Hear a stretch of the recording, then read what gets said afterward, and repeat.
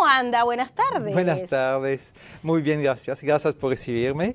Que por supuesto nosotros ya, ya estuvo en nuestro programa por el claro, por todas tus terapias. Exactamente. Este, pero musicalmente no la teníamos. Eh, no, no, estaba hablando mucho del tema, es verdad. Eh, pero como vos decías, sí, en realidad mi camino ha sido primero hacia la música y luego llegué a las terapias.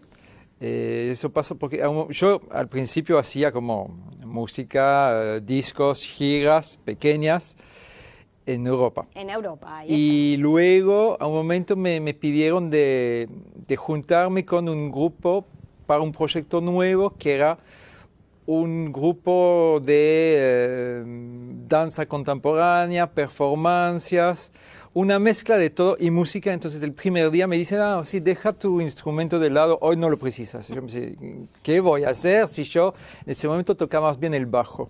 Entonces ahí empecé y, ha sido increíble. Éramos unos 20 personas y para mí era todo nuevo, talleres, eh, había que, que hacer performances todos los días, yo no entendía nada, pero absolutamente nada hay días que yo pensaba, hoy sí, hice algo bueno y me dicen, no, no, no nos gustó nada. el día siguiente pensé, no, hoy era cualquier cosa y me miran como si soy Dios. Entonces estaba tan perdido que busqué, busqué mucho, bueno, poner sentido en, ese tipo de espectáculos. Y ahí me encontré con eh, Alejandro Jodorowsky, que es un, eh, un señor que es artista, y terapeuta, muy conocida, hace millones de libros que se encuentran en todos los lugares. Y, bueno, me encontré por casualidad en Bruselas y empecé a leer sus libros, luego me fui a, encontrarlo. Poco más que todo son sus libros, sus obras que, que me, me, han dado mucho sentido de lo que estaba haciendo dentro de esos espectáculos. Yo estuve casi 10 años con esa compañía. Ah, Hemos tenido muchísimo éxito. Eh, y de ahí empecé a, interesarme mucho más, ya a poner algo como de, de terapia y de sentido en el arte y luego eh, sentí un momento que, quería cambiar y, dedicar mucho más a toda esa parte terapéutica, entonces empecé a estudiar y, y pensé, pensé realmente que había dejado todo. Antes de venir a vivir en Uruguay, vendí o ofrecí todos mis instrumentos. Ah, lo, lo dejaste de lado Dejé mal, todo, todo. ¿No, ¿No utilizabas ni esa música para tus terapias? No. ¿Nunca y eso todavía no. Ah. Eh, es que, bueno, mi música, si bien que estoy compartiendo en las letras, son, son composiciones que hago, estoy compartiendo cosas que, que me parecen importantes, eh, pero es una música más bien pop rock. ¿Eh? Entonces, Ahí la tenemos de fondo. Buenísimo. Todavía no me ha hecho un videoclip, pero ya lo va a hacer en cualquier momento. En realidad ya hicimos el videoclip con el, eh, bueno, la gente del Cablin. Ah. Eh, Nacho. Con Nacho Rodríguez. Nacho Rodríguez eh, es el director y Silvina su asistenta. Eh, y la Silvina se encargó de, de la preproducción y, y, ya lo hicimos, el rodaje por lo menos, y ellos están ahora ah, terminando. Están en, eh, postproducción, vamos a decir, de lo que es el videoclip. Ah, ya va a llegar. Sí, entonces. sí, sí, ya va a llegar. Y ahora justamente estábamos hablando de eso, de que Cablin eh, ya empezó con los miércoles, este, eh, post pandemia, dijera yo, la verdad. Y, y, bueno, ya, ya va a estar este, Mark también este, por ahí este, mostrando mostrando, su, música. Ahora, es pop, pero inspirado y es en francés. Es en francés. Mira, yo hice mucha de mi carrera en inglés. Eh, primero que ya a los 25 años me vinieron a buscar de Bélgica para ser, un, para ser bajista en una banda inglesa, muy conocida en aquella época. aquella época. Y, luego con la compañía de danza eh, éramos de todos los países del mundo, entonces se hablaba solamente inglés.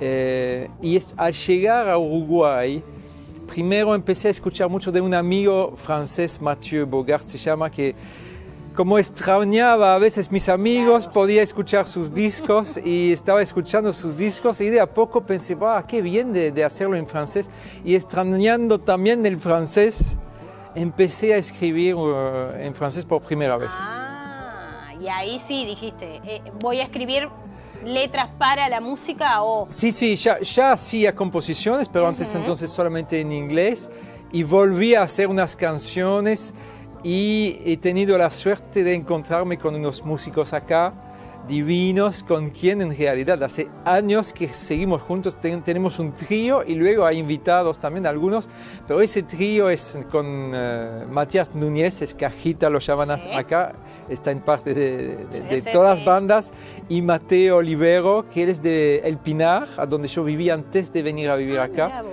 Y, bueno, me encontré con él, tenía 14 años, entonces bueno, ahora está mucho más grande, pero ya en el momento es gracioso porque yo llegué a Uruguay y había alquilado una casa sin verla, a la distancia, y llego el primer día y mi vecino nos escucha eh, hablar francés y pasa la cabeza y nos habla y era un músico.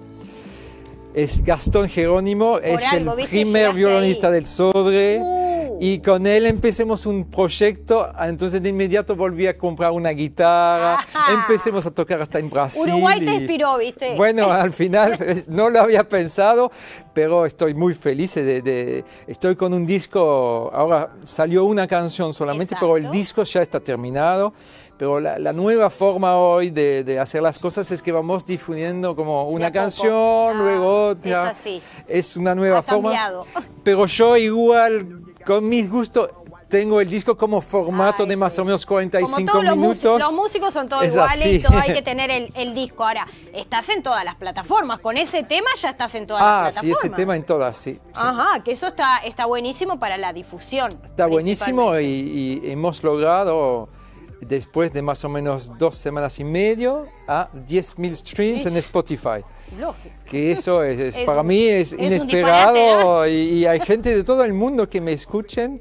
Algunos que, que, veo que se ponen, tengo una posibilidad de, inscribirse a una newsletter y veo que hay gente que realmente no conozco de países que, que, que ni hablan francés a veces y, y me piden de, recibir noticias y, tal. Ah, qué bueno. ¿Y te, te, volvieron a reencontrar este, antiguos... Este, eh, de esos fanáticos que tenías o no? Eh, no tenía como fanáticos míos porque no hacía proyectos claro, solo. no era solo. Entonces sí tenía unas bandas, pero como bajista más que todo ya no, no, no, es otra... No eras tan protagonista. No, no, no. No, no, eras parte de un todo. Claro, o, o la compañía de danza.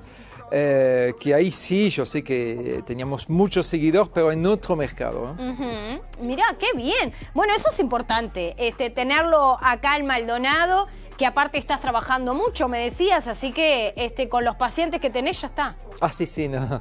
Con eso Sí, sí, por ahora, justamente como te decía, no acepto lamentablemente más gente nueva en mis terapias porque no, no puedo, pero tengo una asistente que ella sí eh, la formé porque, bueno, ya he venido para las formaciones, que las formaciones tengo un muy lindo grupo, eh, seguramente me ayudó de venir acá hace unos meses también. Hemos tenido que posponer eh, la formación por el tema de la pandemia. Sí.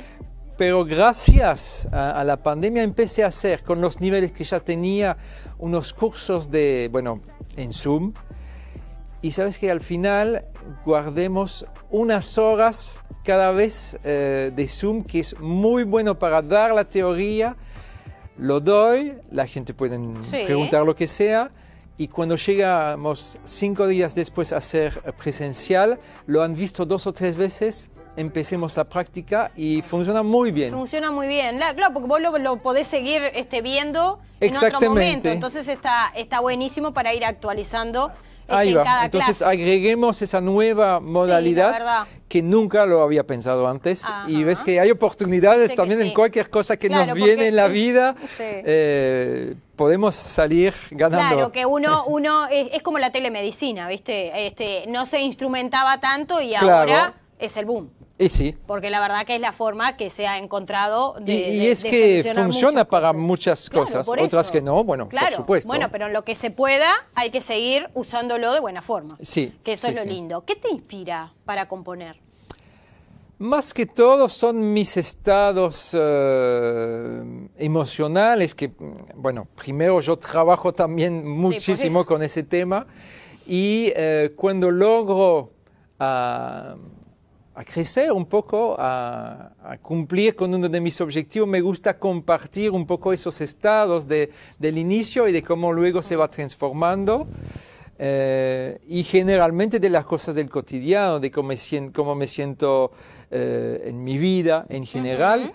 Como puedo, por ejemplo, hay una canción que se llama Vent d'automne, que es viento de otoño, es como de repente por, puedo sentir un poco de, de melancolía, uh, extrañando a Bélgica, pero hay una sí. otra canción que se llama Laguna del Sauce, ah. eh, que estaba en Bélgica hace unos años extrañando muchísimo. Ay, qué lindo eso, extrañando sí, la laguna del Extrañando Sauce. la laguna ah. del Sauce y entonces quería hacer una canción hablando de la laguna, de, de eso, de cómo uno eh, extraña a veces y uh -huh. bueno, son cosas así que, que, que, que comparto. Está bueno porque eh, los dos lugares ya son parte de vos. Totalmente. Que eso, sí, eso sí. ya Uruguay te atrapó. Me atrapó, sí. Te atrapó totalmente, sí, eso está, está buenísimo y bueno, bienvenido. ¿Cuánto hace que estás en Uruguay? Casi 10 años ahora. Casi 10 años, mirá, bien. Va, va avanzando. Va, sí, se van los años.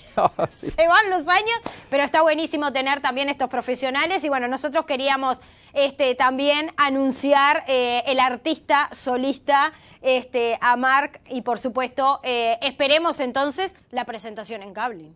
Exactamente. Ah, sí. Yo creo que va a ser algo muy chico por ahora, de lo sí, que me contaron. Sí, lo que es para 30 extraño es hacer la presentación del, del disco total Eso. con, por supuesto, uh, Mati y Mateo uh -huh. y seguramente uh, un músico más, porque en el disco estuve poniendo un montón de instrumentos, además de esa forma de grabar en trío. Luego estuve haciendo muchos arreglos.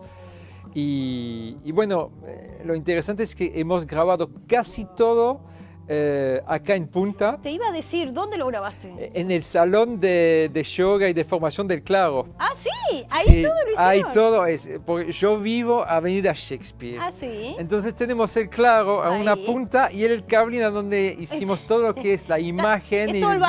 barrio. Es, es realmente algo de barrio. Exacto. Sí. Ah, qué bueno, bueno, mejor entonces si es todo acá. Yo pensé que lo habías grabado y viste que ahora como podés grabar y claro, hicimos. Uh, una pequeña parte en un estudio en uh, Montevideo, en el estudio Mastodonte. Uh -huh. Mira, bien entonces, bien, sí. bien, bien. Bien uruguayo entonces, este, toda la, la movida y bueno, ahí lo estamos escuchando de fondo y por supuesto que lo podés encontrar en todas las plataformas. Y, y, y, opinar, que eso es, es lo bueno de todo esto. Bueno, cuando esté el videoclip, lo presentamos acá. Genial. Excelente, Marc. Muchas gracias por gracias haber venido. A ti. Es un placer enorme recibirte en nuestro libro.